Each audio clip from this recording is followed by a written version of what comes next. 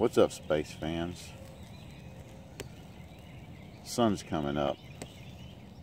It's early morning out here on the bayou. I'm sitting out here thinking about the strangest thing that I've ever seen in nature. I've seen a couple things. One of them happened right there. Right there. In the bayou. I must have been about nine or ten years old. At the time, we only owned this land that I'm sitting on here. And there was a fence. Ran right along that way. And there's some people that inhabited that area over there. They, they were bad people. But I guess they weren't home that day. We were all out here. My family and some of my dad's family and um, I don't know, eating watermelon or or something, having a good time. And somebody looked up, and right over there, big old swamp rabbit had jumped in the bayou and was swimming across the bayou, coming from that side over to this side. Big old brown swamp rabbit. Strangest thing ever seen. Middle of the day. So I jumped the fence I ran over there.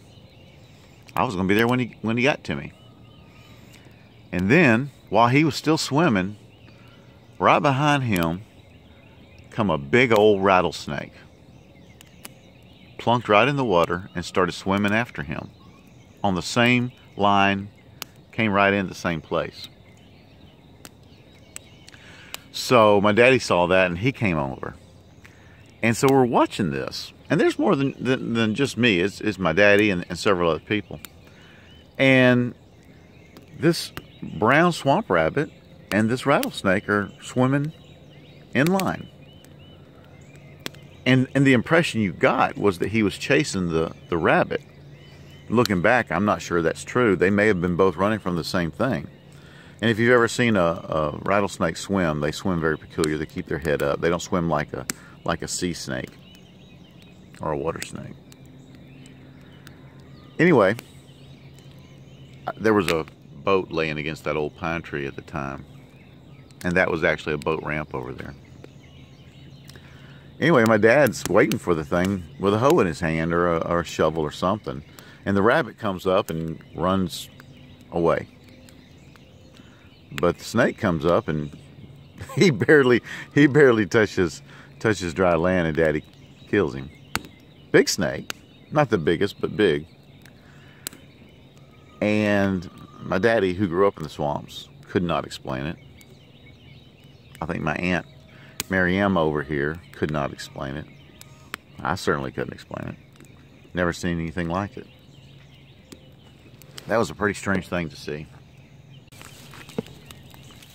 One of the most beautiful things I've ever seen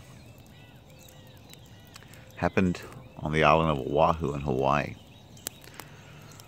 I was going through a school, one of those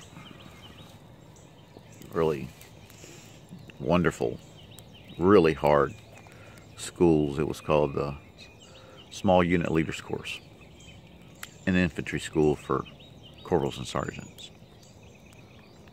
And we were doing a forced march with full gear, machine guns, packs, ammo, everything across the top of the Pali Mountains, which if you know anything about Oahu, Oahu is split in two by the Palis. I think they have a longer name, but we call them the Palis. And there's places where this trail is literally, what, two feet wide, and it breaks off going down on either side, and you're looking out over the entire island. It is majestic. It is incredible. It's beautiful. This kind of picture that you see in National Geographic. And I'm dead tired. I'm just so wore out. And I've got an M60 machine gun and a full Alice pack and, and ammo. And it was just crazy.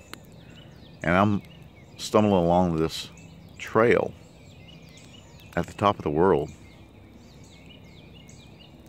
with other Marines. and it's just it's just bright blue, not a cloud. And then this storm system starts to come in, and we can just see it coming in, and we're above it. And we see this storm system just roll in. It wasn't anything bad. It was it was rain. I mean, it wasn't like a hurricane or anything like that. And it just rolls in, and we're there to witness it. And and and and please, I don't I don't mean to be sacrilegious, but it was like having God's seat and to be able to see things as he does. And it was just incredible to see this thing roll in and then hit the mountains. And this cloud system, which seemed just overpowering, hit the mountains and just start to break into turmoil and to see it rolling in the valleys and to stand and watch all this. To have a ringside seat to watch all this. It was just incredible. And it took me from just being so tired and feeling every bone in my body and every muscle drenched in sweat just wore out. And all and all that pain just went away as I watched God's creation. And just it was just magnificent. It was it was incredible Well, those are the strangest and probably the most beautiful things that I have ever seen in nature.